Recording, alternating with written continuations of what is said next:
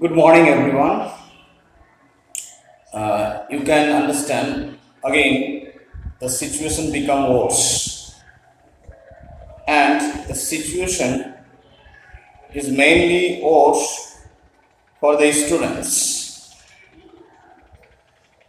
Sometimes I think that this COVID 19, this pandemic, breaks the bone of the students you know backbone. It breaks the backbone of the students. Nowadays the students are out of study. Even they can't concentrate fully on study. How can they do? How can they put their concentration on study? Uh, you know completely. It's impossible. Even if even if i were there i also face the same condition. I must face the same, uh, circumstances. But then also, here I am with you to say that be an optimistic person. Don't be a pessimistic. Here now you need optimism optimism in your heart, in your mind, and think that nothing is lost. Everything you can regain uh, as you are now in this time. Just forget everything, focus on your target, and go smoothly don't feel lazy.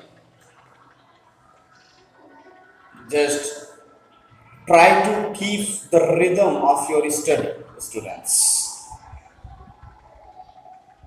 More one suggestion I must want to give you that if you are a candidate of class 10, if you are the student of class 12, if you are the college student then each of you has your specific aim,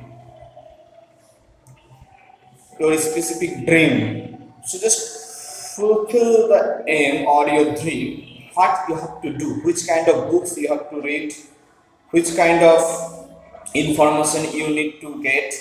Just focus on these things because now just forget about your class 10 class 12 and college uh, graduation course. Just focus on your uh, what what makes you makes your career. Focus on those exams. This is my final suggestion for you all. Or if you are uh, you know if you belong to science stream uh, uh you are class 12 students, you belong to science stream, then you start, start um, focusing on NEET or SEET exam because your dream must have to be related with this. If you are you, you belong to us stream, you focus on the exam like you know WBCS exam otherwise, um, UPSC exam, just read uh, books related with, the, with those exams, then it must be fruitful for you in your future life. Thank you. Bye bye. Have a nice day.